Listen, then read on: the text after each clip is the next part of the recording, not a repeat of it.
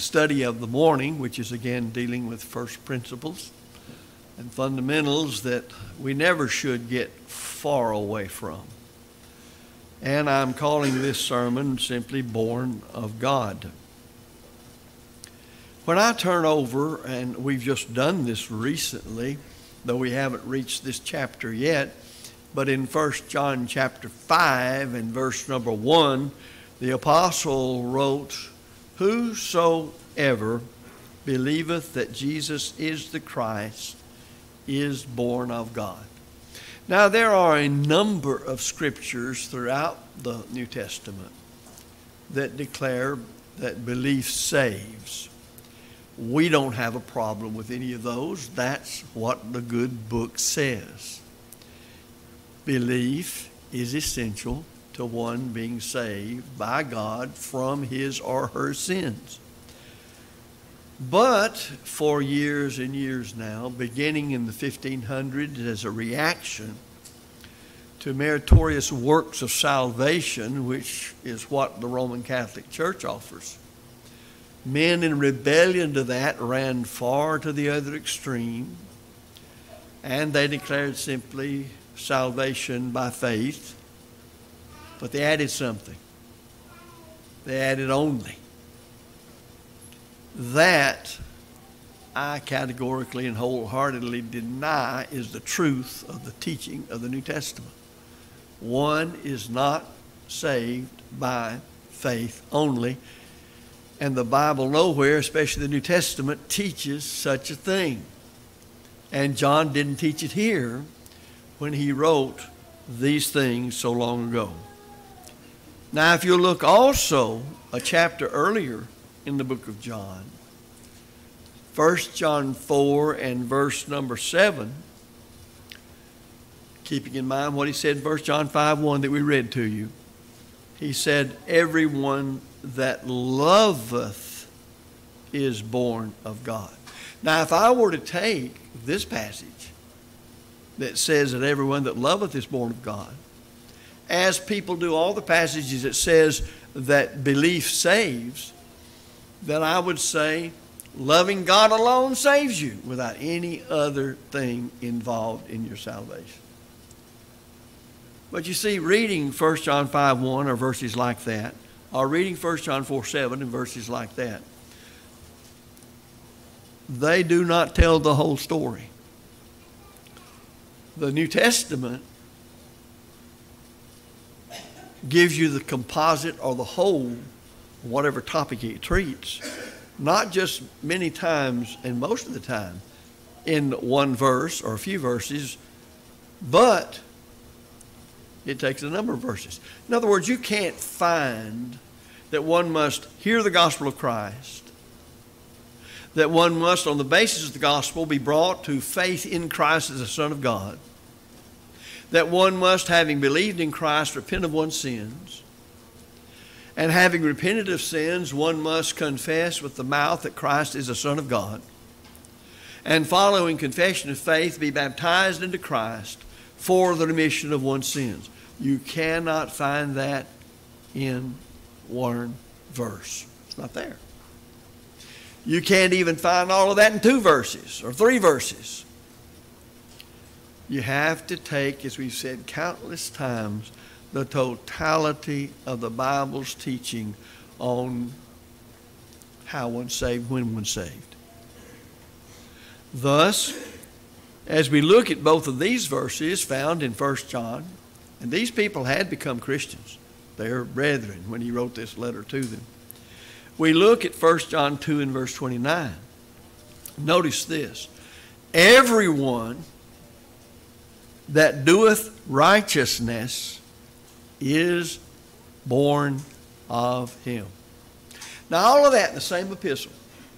Holy Spirit guided the Apostle John to write it. And remember, for those in the class on Wednesday night, we pointed out that John wrote that, saying in the very first few verses that I'm writing this so that your fellowship will be with God, even as the apostles' fellowship is with God, and that your joy as Christians may be full. But he says all of this in these three different places in the same epistle, 1 John.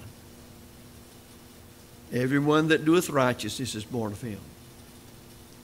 So, from these verses, I think it follows that the one who believes, the one who loves, and the one who does righteousness is what? That's the one that's born of God. We cannot leave out any verse that pertains to what it takes for anyone to be born of God. Now, again, if I would recommend anything, I'd say you ought to memorize, I think I said that in class this morning, Psalms 119, verse 172. My tongue shall speak thy word, David said, for all thy commandments are righteousness. Well, notice what he said in 1 John 2 29 everyone that doeth righteousness is born of God. How do you do righteousness? Well, all God's commandments are righteousness. You obey the commandments of God. There's just no other way around it. It's that simple. So the one that be- loves, or the one that believes, the one that loves, and the one that obeys righteousness is the one that is born of God. Now look at 1 John chapter 4 and verse 7. Everyone that loves is born of God and knoweth God. Well, don't forget what we already said. Or maybe I should put it this way don't forget what John, by inspiration, has already written. And we understand then that to believe and to love and to obey the commandments of God to do righteousness is the one that knows God. How can a person say, I know God, and yet fail in doing all God requires of that person to become a Christian? Or as living the Christian life and being faithful, doing those things God requires for one to be faithful. Now, what is the love of God? Oh, there's so much said about that. I couldn't say. It would be impossible. All my life of preaching the gospel, we hear about the love of God. We've spent a lot of time on that in First John. Well, it's like anything else the Bible teaches. There's a lot of false doctrine out there about God's love for us and what it means, and our love for God and what that means. But again, and I've often done this over the years with 1 John chapter 5 and verse 3. Notice we're still in the first epistle of John. I've often been preaching like this in a gospel meeting and said, Do you want to see the love of God in your life or anybody else's? And most people, uh, I don't ask for show of hands, but in their minds, they they will say, if they're paying attention and interested, they'll say yes. Well, John says, For this is the love of God. And I usually say, What is the love of God? And John says that we keep his commandments. You can't get clearer than that. God didn't say how much you smile at one another or how well you warmly shake somebody's hand or whether you hug them or they, you don't. He said plainly that if you keep his commandments, this is the love of God that we keep his commandments. And I'll interrupt myself here and say, and I hope I don't embarrass him, Robert, it's good to see you, sir. We appreciate it. So, who knows God? He that saith, I know God, or I know him, and keepeth not his commandments, John pulls no punches here, is a liar. And the truth is not in him. Now, don't forget all we've already said.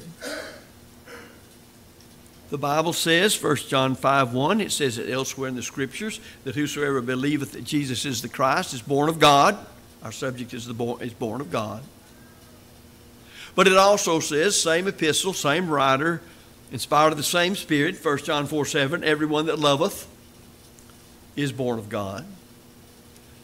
And then in the same epistle, 1 John 2 and verse 29 Everyone that doeth righteousness is born of God, or born of Him. And so we see, we take all of it. We don't take any one verse and say we're saved by faith only, or we're saved by love only, or we're saved by righteousness only, even. You know, all of us, I think, here this morning have a Bible. We all would say that's the Word of God. And we would all reference probably 2 Timothy 3 16 17, that all scripture is given by inspiration of God and is profitable for doctrine, for reproof, for correction, for instruction in righteousness, that the man of God may be perfect, thoroughly furnished in every good work. We know that. You can admit that. You can confess it all day long. But what if you don't study it? You know that verse. You say, well, it's the Word of God, and just carry it around under your arm all the time or lay it on the coffee table. It's not going to do you any good. You know that it's here to be studied. And thus Paul says, study to show thyself approved unto God. A workman that needeth not to be ashamed, rightly dividing the word of truth, 2 Timothy 2.15. So again I say, from the scriptures we've noticed that it must follow that one who believes and one who loves and one who does righteousness is born of God. Now, since all of God's commandments are righteousness, then shouldn't I realize this is saying I must learn the commandments of God? They're given from God to us as commandments. What's a commandment? They're to be obeyed. They're to be obeyed. So one who does the commandments of God is born of God. What if one does not do the commandments of God pertaining to being born of God? He's not going to be born of God. So everyone that loveth is born of God and knoweth God. And I said earlier, the love of God, can, can the love of God be seen in your life and my life? Yes, for this is the love of God that we, that's Christians, keep his commandments. A person's not a Christian. He says, I want to become a Christian, uh, just like Paul became a Christian. Okay, let's study what God's commandment said. Well, I don't want to do what he says. But I want to be born of God. Well, I would say you'll never be born of God. If you don't believe in him and you love him and you work righteousness, knowing all the commandments of God are righteousness, it pertains to being born of God. So he that saith, I know him and keepeth not his commandments is a liar, and the truth is not in him. Let's look at a few ideas along this line. In John 1 11 through 13, the Gospel of John, that is, the scripture reads, He came unto his own, his own received him not. But to as many as received him, to them gave he power to become the sons of God. Now watch it. Even to them that believe on his name. Now, does this say the moment you believe in Christ as the Son of God, your Savior, that He saves you. Do you realize it doesn't say that? It says simply that if you have believed, you have been given the power to become. Listen to it again. But as many as received Him, now they've received Him. I hear preachers all over the place say, just receive Jesus as your personal Savior. But is that enough? Well, these folks received Him.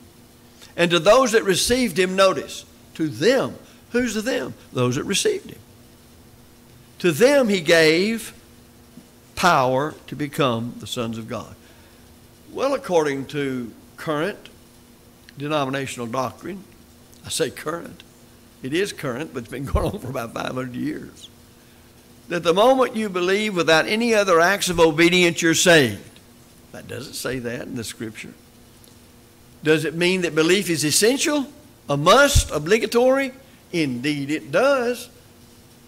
But it also says that the believer then is given the power to become a child of God.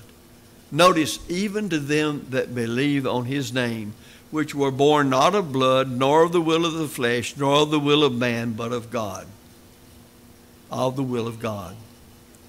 Again, John 1 11 13. Now, again, except a man be born, and this is Jesus talking to Nicodemus, except a man be born again. Then he goes ahead to say, be born of water and of the Spirit. He cannot enter the kingdom of God. John 3, 3 and 5. That gets pretty uh, interesting to me. I, I want to be saved. I want to be born again. I want to be in the kingdom of God. Well, Jesus is speaking. He should know how to tell me. He's the Savior. He should know how to make me a citizen of His own kingdom, of which He is the King. And of course, that's in John 3 3 and 5 through 5. So, entrance into the kingdom of God is contingent upon a new birth. And it's not a birth that's physical. Now, this being true, it's necessary that we understand what that birth is and how it is brought about. Notice another very familiar passage that Jesus says in Matthew 6, verse 33 But seek ye first the kingdom of God and his righteousness. But he also says, Not everyone that saith unto me, Lord, Lord, shall enter into the kingdom of heaven, but he that doeth the will of my Father which is in heaven. Matthew 7 and verse 21. Well, are these scriptures arrayed against one another? Are they standing in opposition to one another? No. What we've noticed is being born again connects directly to being a citizen of the kingdom of heaven and how one becomes a citizen of the kingdom of heaven. Well, to become a citizen of the kingdom of heaven, you must be born again. Now, let me pause here and say this too. I hear all over the place among the denominational people who are not speaking as the oracles of God a born again Christian. A born again Christian. A person is born again in order to become a Christian, a citizen of the kingdom of heaven, a child of God, a member of the church, the body of Christ. But yet there are doctrines out there that says you're saved the moment you believe without any other acts of obedience. And thus, you're not born of water and the Spirit. You're saved before you ever are born of water and the Spirit. So you must be born again. And by this birth, you do enter the kingdom. You become a citizen of the kingdom of heaven. And yet we're taught here in Matthew 6.33 that I should seek first the kingdom and then I must do the will of God to enter the kingdom. Well, let's look at some of this material. It stands thusly. First of all, I must be born again. I must be born into the kingdom of God. Or, number two, do the will of God to enter the kingdom. To say one's to say the other. So, does it not indicate there's something obligatory upon me that must be done in order to enter the kingdom of God? Well, I must do the will of God to enter the kingdom. And when I do the will of God, according to the totality of the scriptures bearing on the matter, I am born again. So it follows then that to seek a diligent search, a patient inquiry, to seek the kingdom of God is the same as to seek to know the will of God for me. And when I do the will of God, I'm born again or I enter the kingdom by new birth.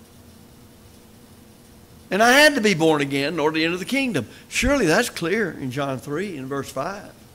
If you're not born again, you don't enter the kingdom. So therefore, when I do the will of God, I can only conclude that then and then only am I born again.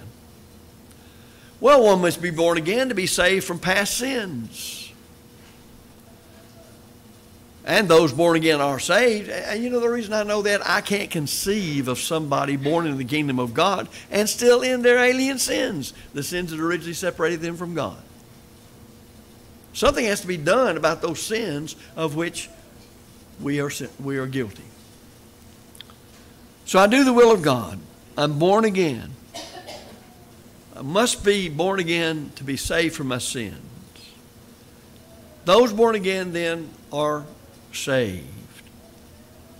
But now notice the saved, those saved from their sins, are in Christ.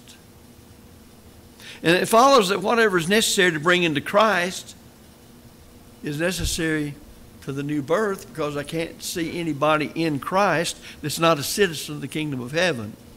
And I can't see anybody that's a citizen of the kingdom of heaven unless they've been born again. And you can't be born again unless you're born of water and the Spirit. And it's the Spirit that reveals the mind of Christ and the will of Christ that teaches he that believeth and is baptized shall be saved. So Christ is certainly necessary to the new birth. Or the one that enters Christ, the one that enters Christ does so by what is called by the Scriptures being born again or birth. Now, why is that the case? Because, first of all, the one born again is saved. And next of all, number two, salvation is in Christ. And third, we may draw the conclusion, therefore, that the birth brings into Christ. And fourth, one is baptized into Christ. And it's explicitly said there by Paul in Galatians 3 and verse 27. There's no other doorway into Christ except to be baptized into Christ. But to be baptized into Christ is to be born of water and the Spirit. And to be born of water and the Spirit is to enter the kingdom of which Christ is head.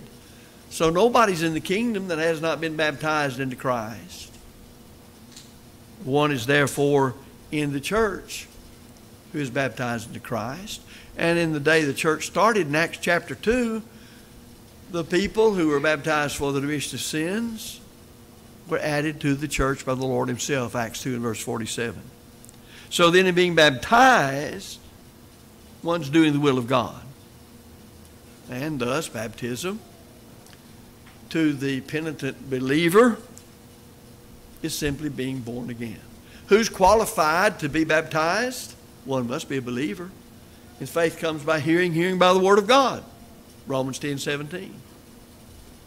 Now you're in a position to receive further instructions. And thus we have Acts 17.30 or Luke 13.3 and 5 that says one must repent of sins. That's something you do and I do. It's a resolve of the heart to cease living contrary to the will of God. Death means separation. You die to the old man of sin. Now, you confess your faith in Christ, Romans 10 10. Now you're ready to be buried. You see, you're dead to a life of sin. You bury a dead man. And thus, Romans 6 3 and 4 and Colossians 2 12 says that we're buried with Christ in baptism. And in Colossians 2:12, through faith in the operation of God. This is God operating on you. He doesn't operate on you to make you a Christian except that you receive with meekness the engrafted word which is able to save your soul, James said. Well, it's able to save your soul because it tells you what to do. We're back to the commandments. You want to see the love of God? Then see it in people keeping commandments of God. Does that give us more, give more impetus over what is said in Ecclesiastes? Let's hear the conclusion of the whole matter. Fear God and keep his commandments. For this is the whole duty of man. In the Hebrew, it's just the whole of man. So, since we're baptized into Christ, it follows that baptism is necessary to the new birth, necessary to be born of God. It's a beginning point, but it's highly significant. Most of those who claim Christ as Savior don't believe what I've just said. The great majority, if you go by the majority and you say, well, we're going to go, all those who say Christ is the Son of God and the Savior of the world, uh, we're going to be democratic. We're just going to allow all the denominations to vote, and everybody that believes what I just said is to vote, and we're going to go what the majority says. Well, you're going to lose your soul if you do that. Because we don't go by what the majority believes. The Lord's church is a kingdom. Christ's word is absolute. It's the final say so. And we don't vote on such things. That may be hard for good Americans to understand. But we are to do what the Lord said, regardless of what anybody else believes or doesn't believe, or they do or they don't do. We're to do what is right as the Bible defines the right. Remember that the Apostle Peter said at the household of Cornelius, the first uncircumcised Gentile convert, what he saw because he still was thinking that everything that pertained to salvation through Christ pertained to the Jews. And he says, I learned something here. And he says, Of a truth, it's the truth, of a truth, I perceive that God is no respecter of persons. Now watch it. But in every nation he that feareth him, now watch it, and worketh righteousness is accepted with him. Well, we should know by now what worketh righteousness means in view of the fact all of God's commandments are righteousness. And we've seen already what is made clear in 1 John 2 29 everyone that doeth righteousness is born of him.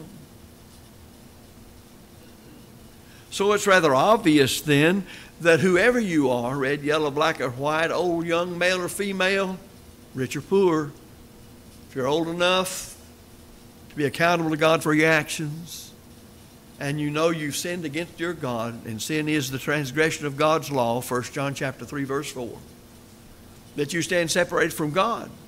That's what it means to be in a lost condition. And you need salvation. Well, God's done his part. In fact, in his part, he did everything for us we never, never, never could do for ourselves.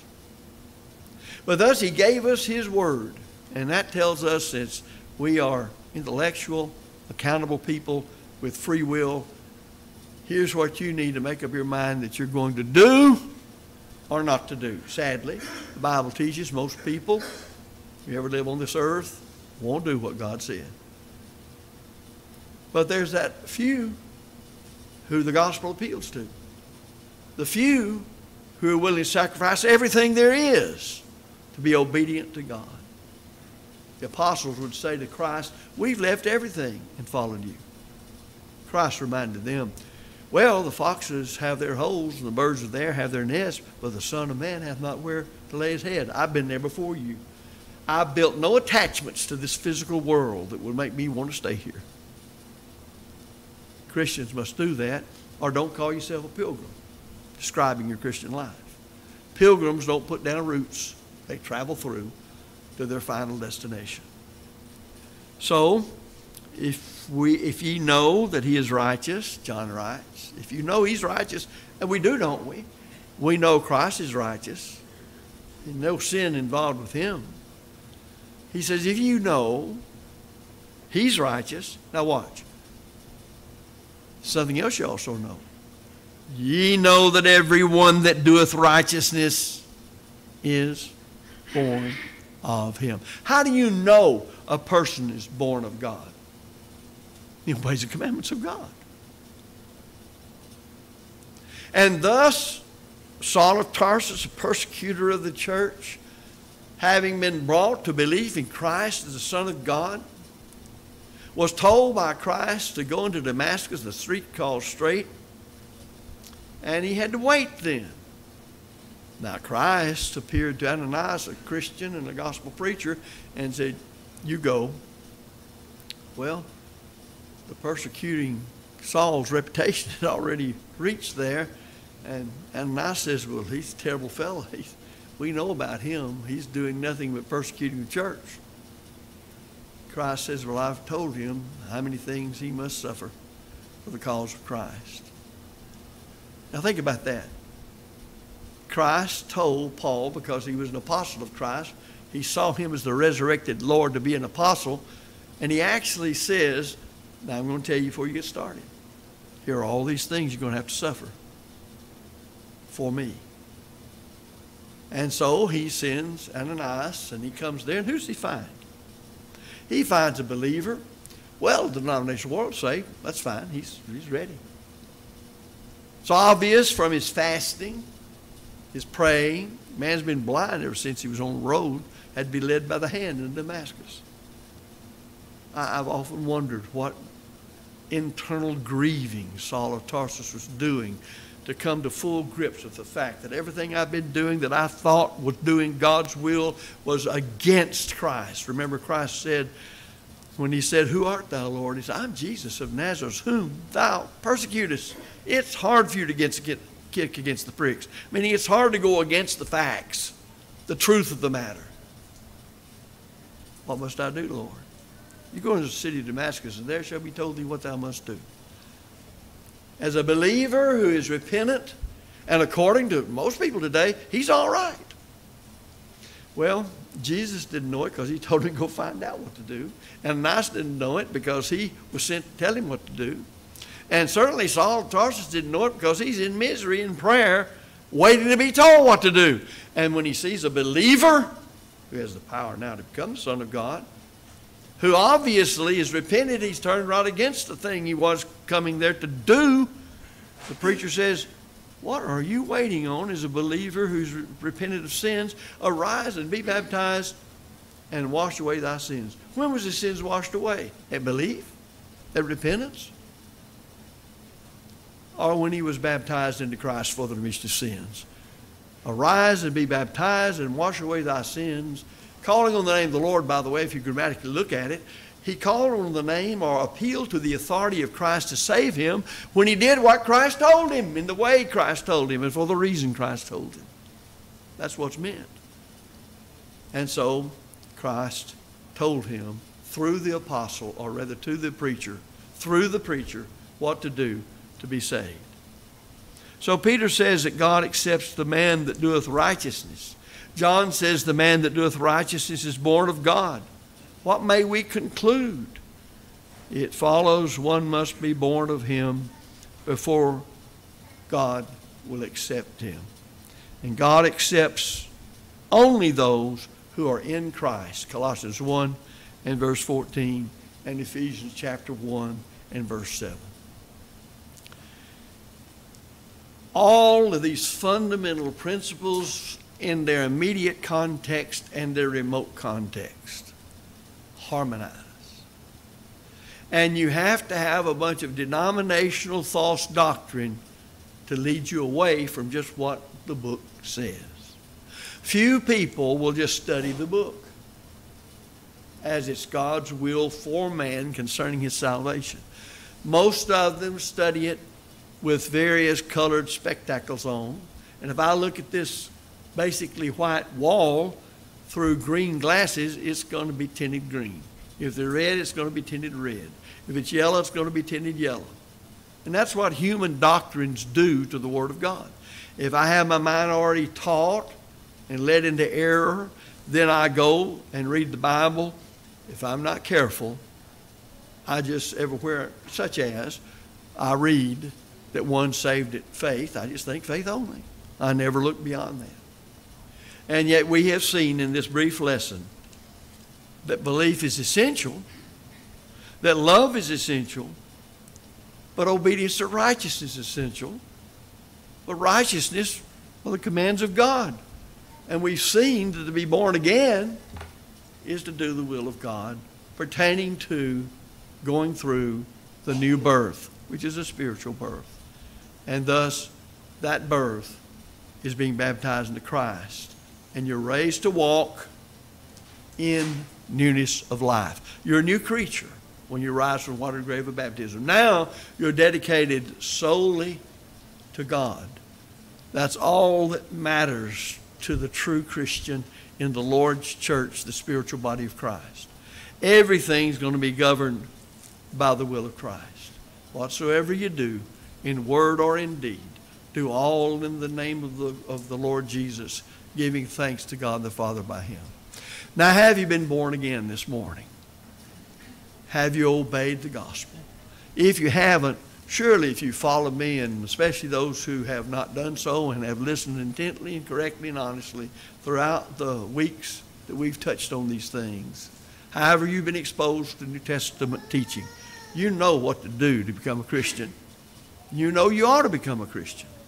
All I can say is, why are you not yet doing it? I don't think it's hard to understand. Don't think the Bible's hard to be rightly divided if we really want it. There's got to be a hungering and a thirsting after righteousness. There's our word again. After the commandments of God. If you don't have that supreme love of God in Christ and the Word of God to love the truth, now remember, John said that, that we're to love the truth, then we can't be set free by it. As a child of God, we must cultivate that love of the truth and obedience to His will. And if we've deviated from that, the second law of pardon says repent of those sins and confess one's sins as a child of God, and God will hear and forgive. We're on the road to heaven. Some of us are different places on that road as far as maturity and growth. The main thing is whether you're 20 or whether you're 80, whether you've been in the church five minutes, five years, 50 years, or whatever. It's where you are on that road in your faithfulness that makes the difference when you die. As to being covered by the blood of God through His Son, Jesus Christ. Are you subject to the Lord's invitation to become a Christian? If so, we invite you to come while we stand and sing.